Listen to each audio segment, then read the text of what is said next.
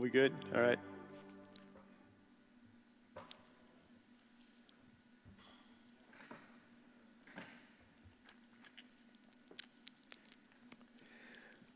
Happy Easter, everyone. Hear these words from Peter. All praise to God, the Father of our Lord Jesus Christ. It is by his great mercy that we have been born again, because God raised Jesus Christ from the dead. Now we live with great expectation, and we have a priceless inheritance, an, an inheritance that is kept in heaven for you, pure and undefiled, beyond the reach of change and the coronavirus. It's a good word that uh, I offer to you and a great hope we have because the tomb is empty and Jesus is alive. We don't need to be afraid. Uh, we welcome you to our live stream. I'm Dave King. I serve Oakland Church as lead pastor. And I want to encourage you to gather around your computer screens. I didn't think I'd ever say that. Or televisions or phones and worship with us. Sing the songs with us. Pray with us open your heart to receive what, what God wants to give you today. Would you join me in our great confession of faith? Christ has died. Christ is risen. Christ is coming again. Hallelujah. Let us pray. Almighty God, we rejoice in your great love and plan of redemption and the sacrifice that your Son made to save us from our sins. And we believe that uh, he rose on the third day and defeated all enemies, and we can live with this hope that we don't need to be afraid. God, minister to everyone watching our live stream. Make every home a sanctuary and draw near to us, Lord. We need you today. Just commit this service to you. We love you and pray in the name of our risen Savior, Jesus. Amen. He was dead, as were my hopes and dreams. He said it would happen, but we were unaware of their schemes. He spoke of love, but they opted for hate instead. We thought he was the one to end our striving and pain. We believed he was the Son of God, but then the end came and he died on that cross. All hope seemed lost. Life, again, dark and bleak. I wanted to hear his voice. I wanted to hear him speak my name again. I wanted to believe that the cross was not the end, but my faith was weak that long night ended, and then another. The third day dawned, and I went to the tomb with my brother. The stone rolled away, the grave clothes folded, made us wonder what happened there? Was it true? Was Jesus alive? I wish I knew. He told us that he would rise from the dead. Could it be true? The end of fear and dread and guilt and shame. And then I saw him and he spoke my name. I saw the wounds in his hands, in his feet, in his side. He was not dead. Jesus was alive, ruling, reigning, everything changing life would never be the same again because Christ the Lord is risen from the dead.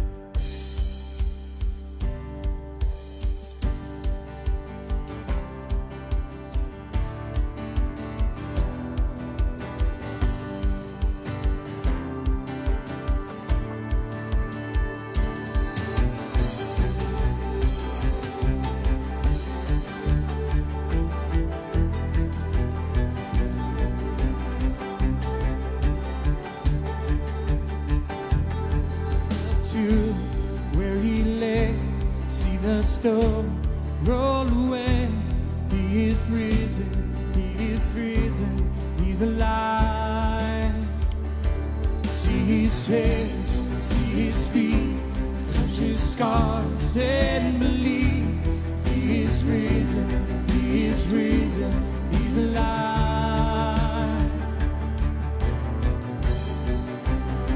Oh.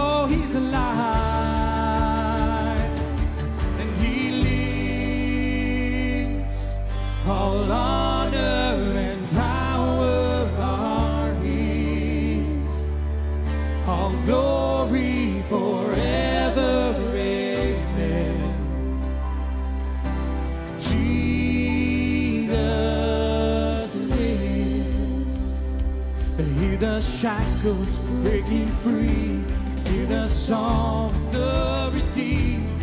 He is risen, He is moving, He's alive. Take this freedom, take this love. Can you feel it rising up? He is here, He is here, and He's alive.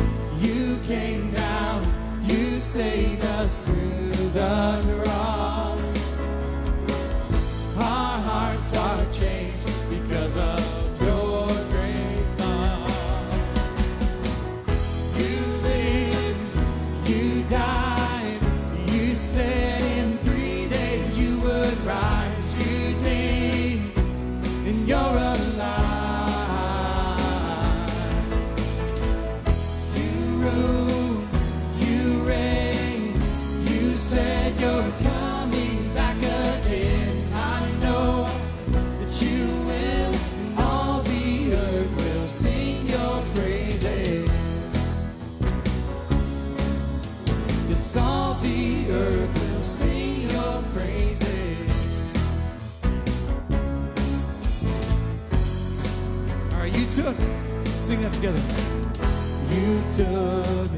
You take our sin.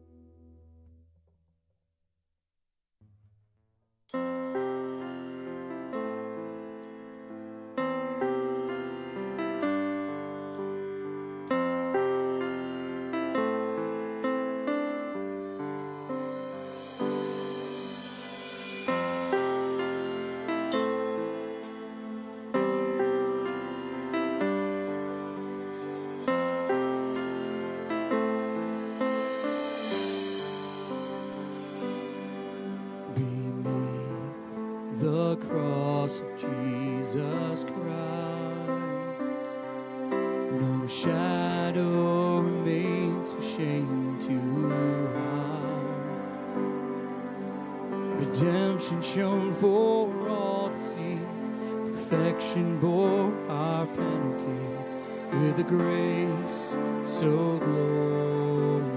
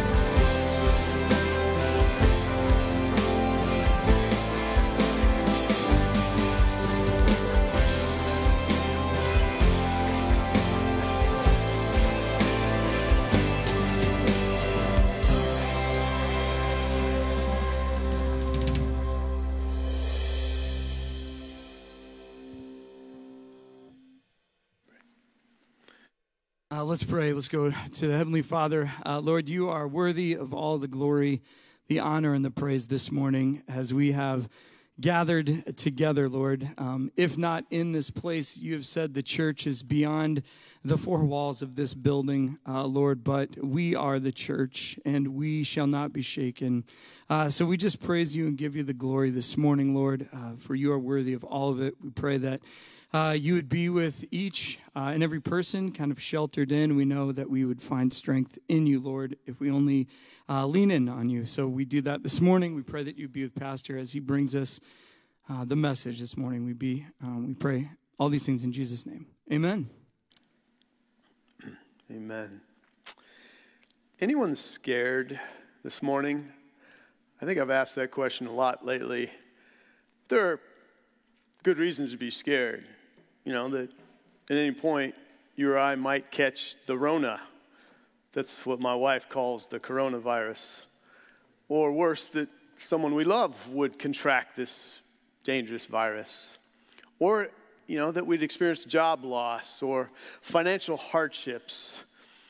Some may be scared of what's going to happen with our economy going forward and wonder if life will ever be normal again. Not bad reasons to be scared. But we got nothing on those Easter disciples, at least prior to the resurrection. We know that, you know, the 12 men who Jesus picked to follow him left their jobs and careers and lives behind to follow Jesus. They left their fishing boats and tax collector booths, and they had to wonder if they could go back. I mean, how are they going to survive now? There are a group of women who are featured prominently in the resurrection accounts in the Gospels. A bunch of Marys and uh, a woman named Salome who, who we learn, you know, supported Jesus and his disciples during their ministry. They gave of their own finances to help fund the work of Christ. Did they have any left? And who would want to marry these women who associated with that Nazarene? And they all must have felt such disappointment and, and delusionment. How could they ever believe in anyone or anything ever again? And then there was that very real fear that the people who came after Jesus would come after them. I'm pretty sure when Easter morning arrived, they were, you know, trembling in fear. And things are about to get a whole lot scarier.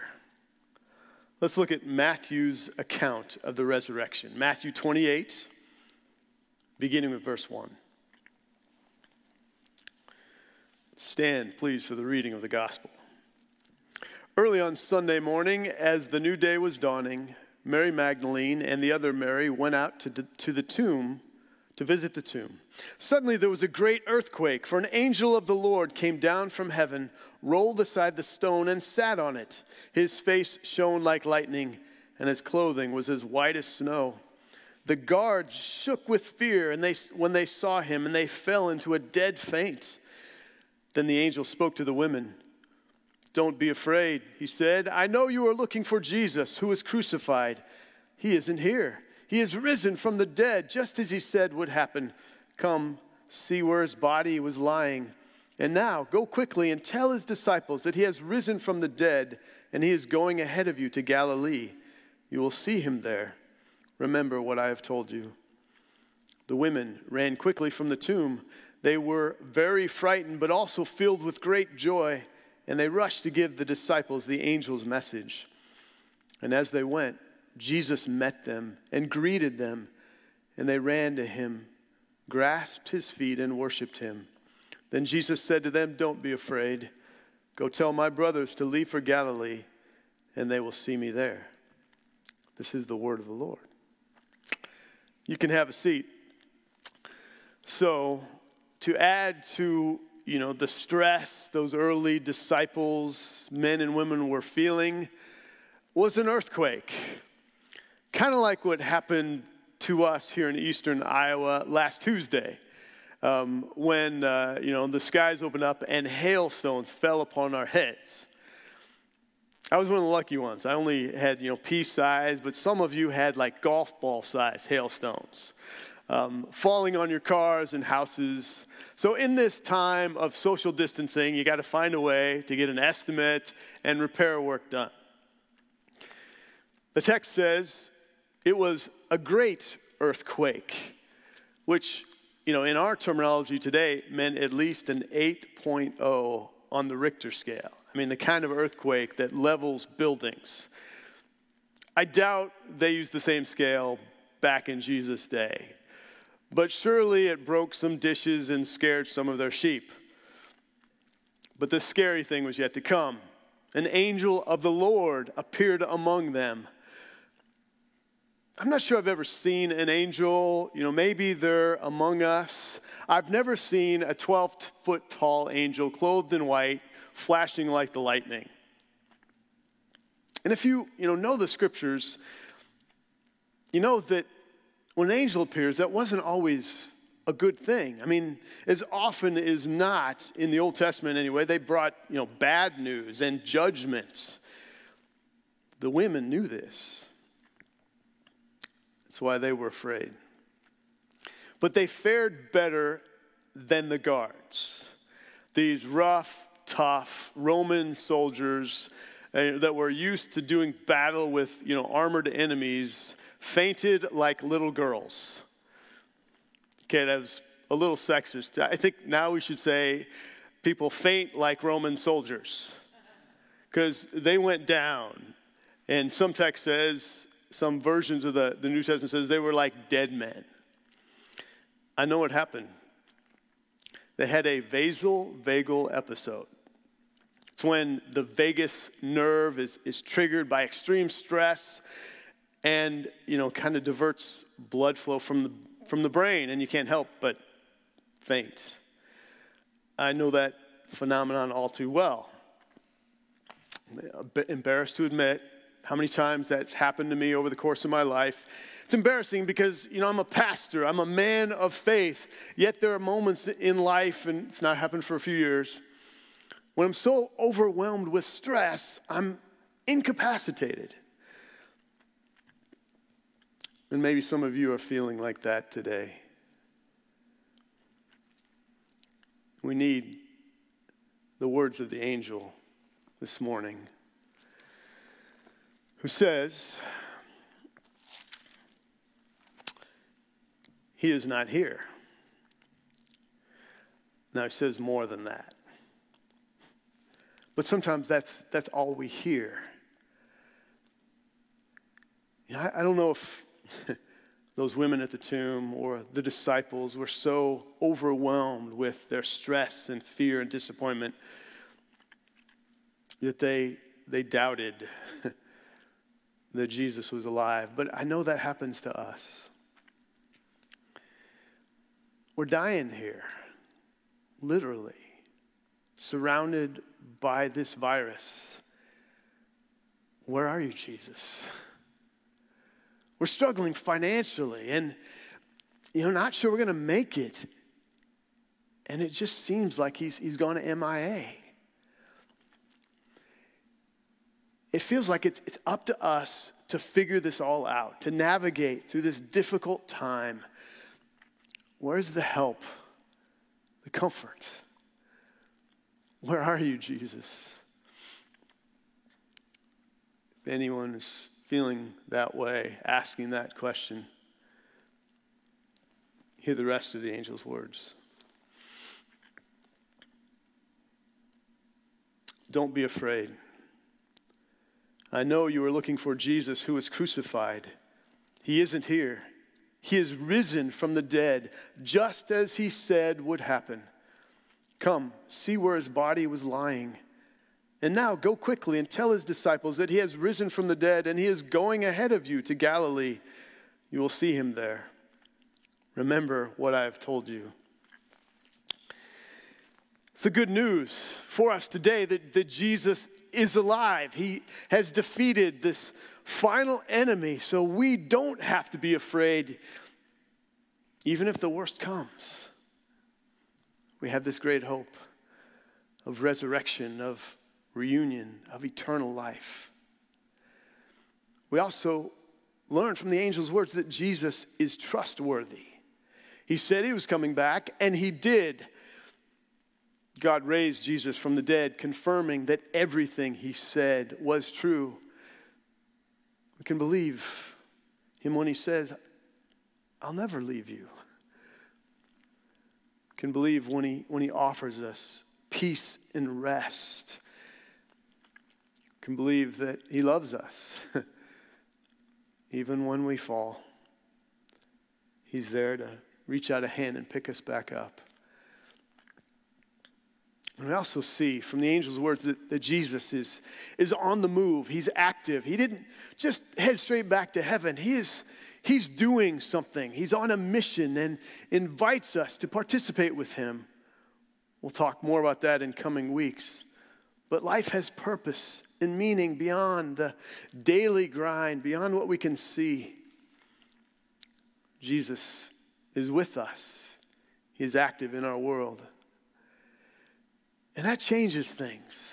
We see in the women that their fear starts to dissipate. They, they are starting to find faith and joy and hope and peace. But there's still a little fear, you know, filled with joy, but also frightened, maybe not as much as they were, uh, surely not as much as before, you know, they heard the news. But life can still get scary at times. There's still fear until Jesus shows up and he meets them. You know, helps them see that, that he's there. He's real. He's alive.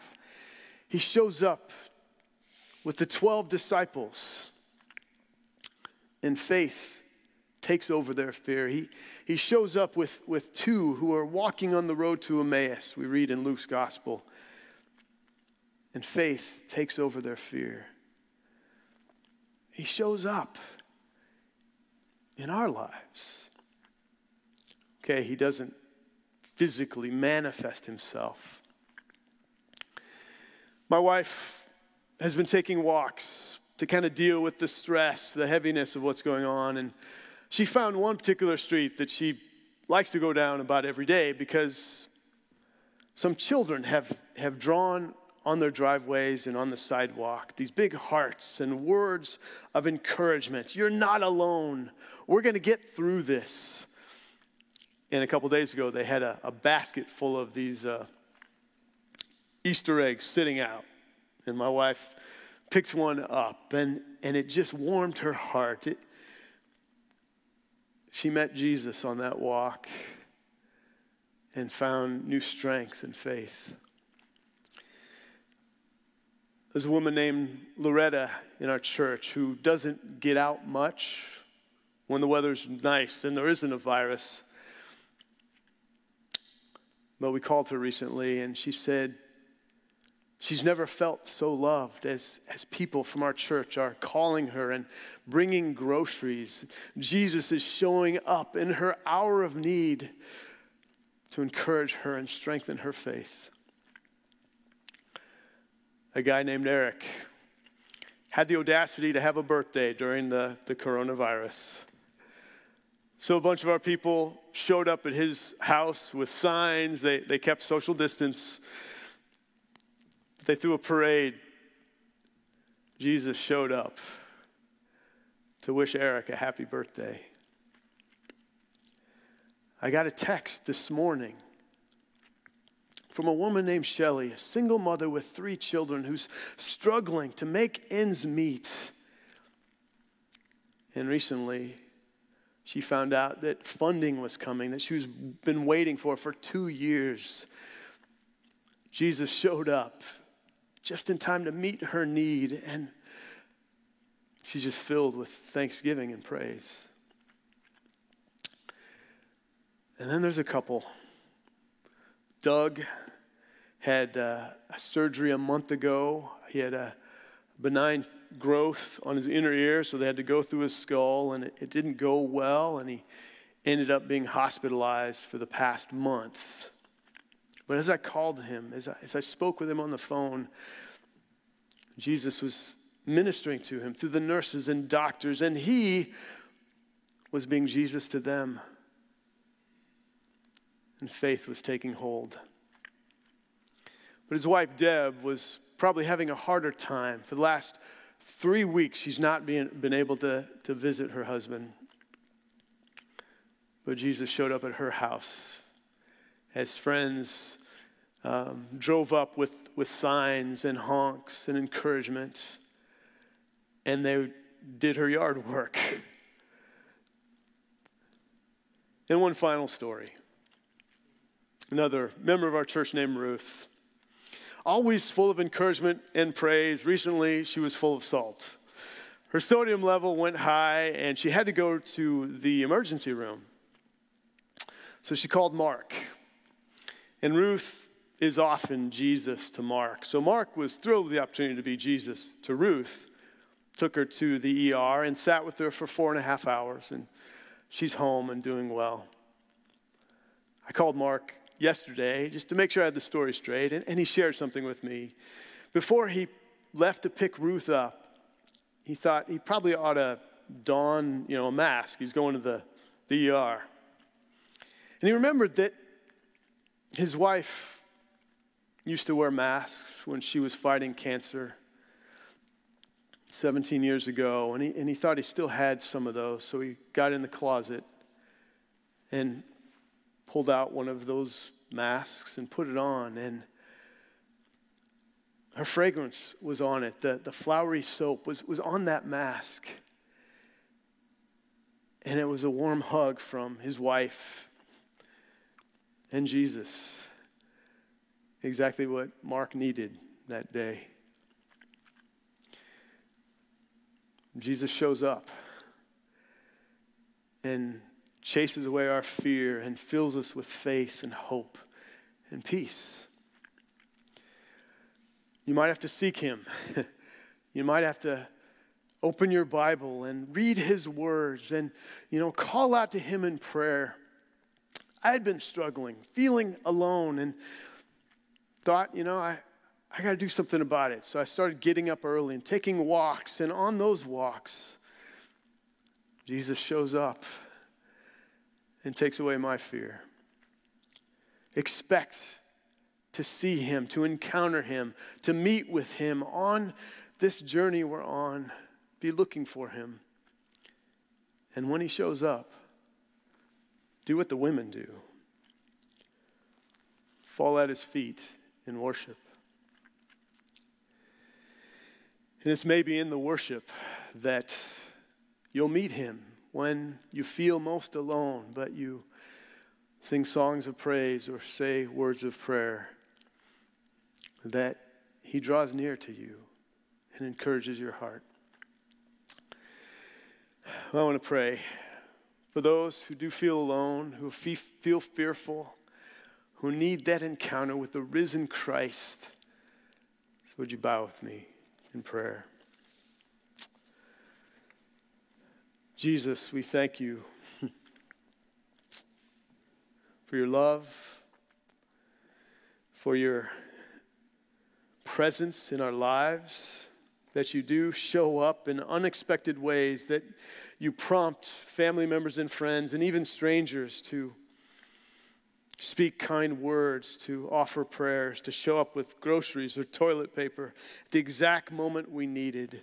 And I pray that, Lord, for those who need to know you're near today, that you'll minister to them, that you'll show up and they'll see you and their fear will dissipate.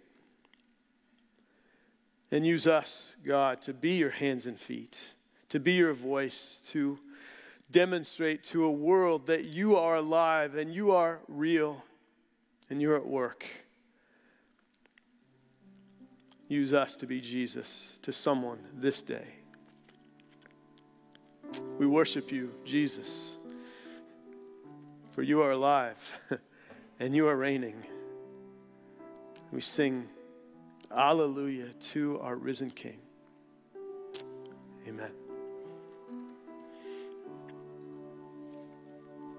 As those of us on stage kind of stare out to a mostly empty room and a space that we normally fill with smiling faces and uh, handshakes and smiles and voices uh, that we can sing, um, it's decidedly different. Um, without each of you here kind of in this space. And I think up until now, or maybe moments before, we missed a little bit of that.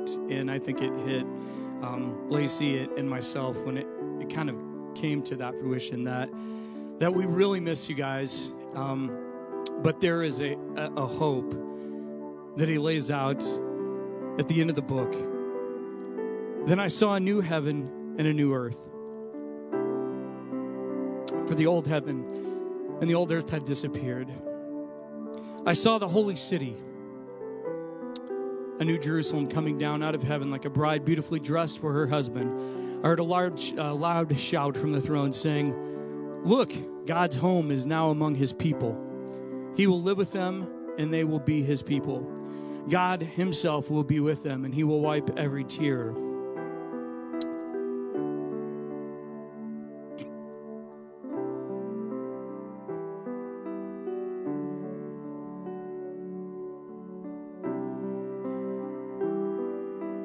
He will wipe every tear from their eyes.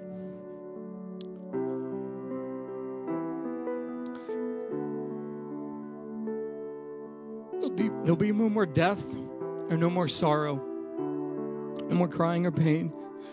All these things are gone forever. And the one sitting on the throne said, Look, I'm making all things new. So write this down for what I can say, or what I say is trustworthy and true. It is finished. I am the Alpha and the Omega, the beginning and the end. To all who are thirsty, I will give freely from the springs of water. and all who are victorious will inherit all these blessings, and I will be their God, and they will be my children. And if we stopped there, that would be great. That would fill us with hope. But it continues on to say that there is a price to be paid for those that don't know him. And so this morning, if that's the case,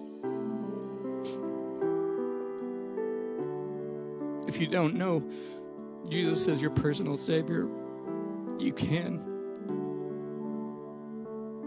And it's just a matter of, of admitting that uh, you've strayed away or sinned, or there's something between you and Him, and believing that He has the power to change that which sits in between you and Him, and then just confessing that. Lord, we believe this morning that you have a hope for us, a hope that sits beyond disease and separation, and the thing that um, that pain that we feel uh, when we can't gather, Lord, but what binds us together is the price that you paid. So we thank you for that this morning and we sing praises to you. Hallelujah to the Lamb upon the throne. You are worthy, Lord.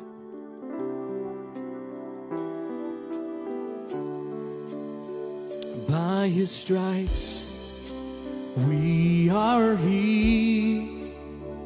By his nail pierced hands we're free. By his blood we're washed clean. And now we have the victory. The power of sin is broken. Jesus overcame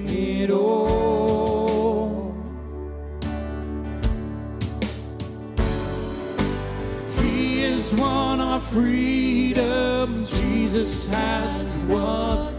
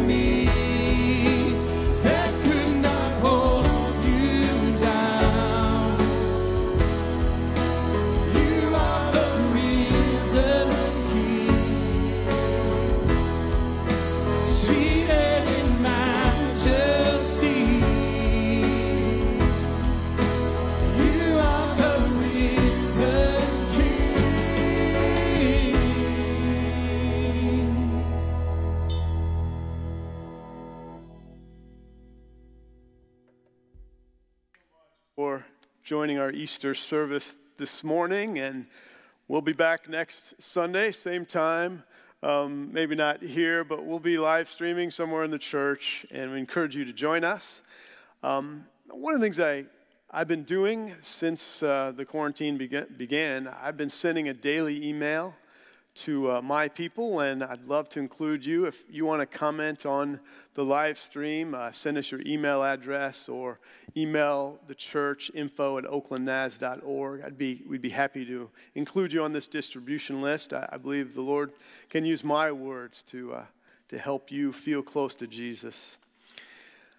I also uh, would encourage uh, those who don't have a church home to uh, um, support the ministries of this church. We have three ways you can give to our ongoing needs through uh, our website. You can text to give. If you text the word give to that number, you'll get a link and enable you to give um, again through our website, or you can just mail in offerings to our church.